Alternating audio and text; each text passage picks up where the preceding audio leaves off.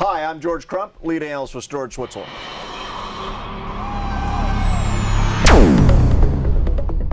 We're at VMworld 2015. One of the big issues here is data protection and copy data management. We have all this data, and how do we protect it and make sure we're managing it effectively? Joining me on the whiteboard today is Stepphon Gayle. Stepphon is the data storage manager at the Fairfax County Public Schools in Virginia. That's correct. Stepphon, thanks for joining us today. Thank you for having me. So you're kind of like in the in the heat of the storm here. You've got a public school with how many students? Uh, about 250,000. See, that's like 249,000 too many. Yeah. Um, but uh, so let's let's talk about your data storage challenges there. Just kind of broadly, just from an IT perspective, what are the kind of services you guys are having to deliver to these students, and obviously the faculty and everything else. Well, uh, the biggest issue is providing uh, home shares and uh, data for data space for faculty, staff, and students um, to store their classroom work, their uh, business side work, and everything else on. Okay.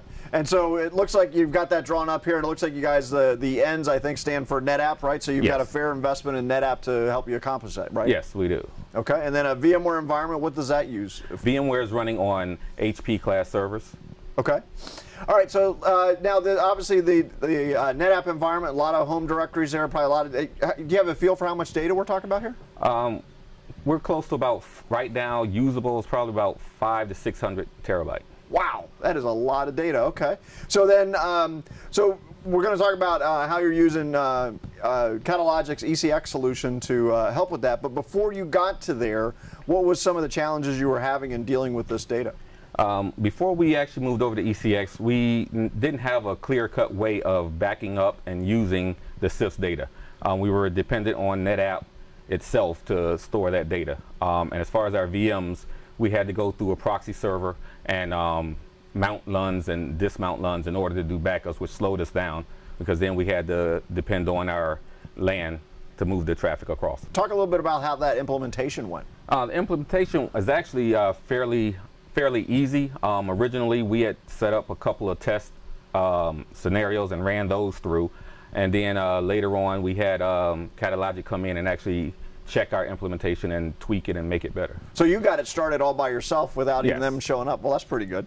So I, I think that's one of the things we we see in this space. We we talk about um, sort of in place versus rip and replace type of solutions, and, and the value of this sort type of solution is that you can get it installed with not a lot of effort because it's it's so seamless to the environment, right? Yes, it's uh, the interface and everything was very easy to uh, maneuver through and set up um, from the beginning.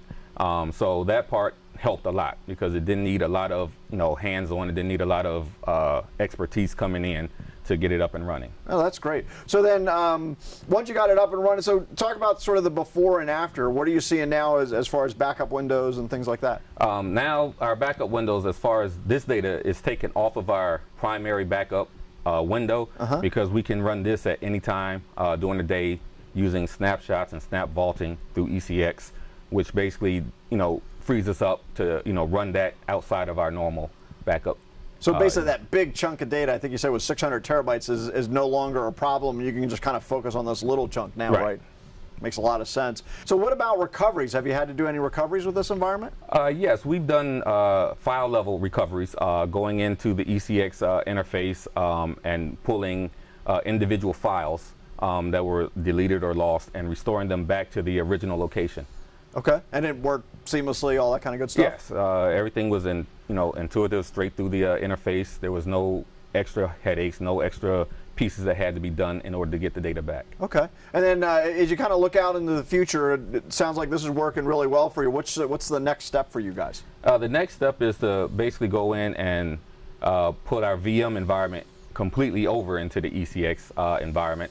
Um, and also we're leveraging more with the analytic piece and pulling uh, that data out to actually make future uh, decisions. Well, let's, let's talk about that a little bit because that's one of the things that you know copy data can really empower is this sort of the analytics process. What are some things you've learned as, as, as you've kind of implemented this? Um, we've been able to go in and we've been able to identify, you know, trouble spots, um, uh, age data, you know, um, data, you know, four, five, six years old. We've been able to identify that.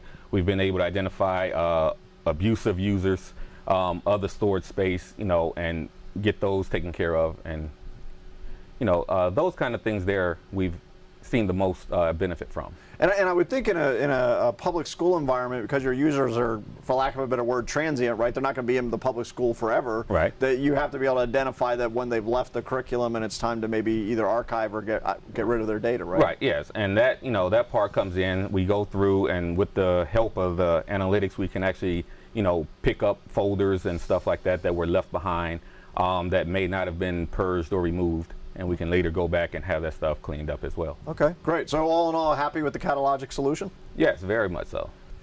I'm George Crump, lead analyst with Storage Switzerland. Thank you for joining us today.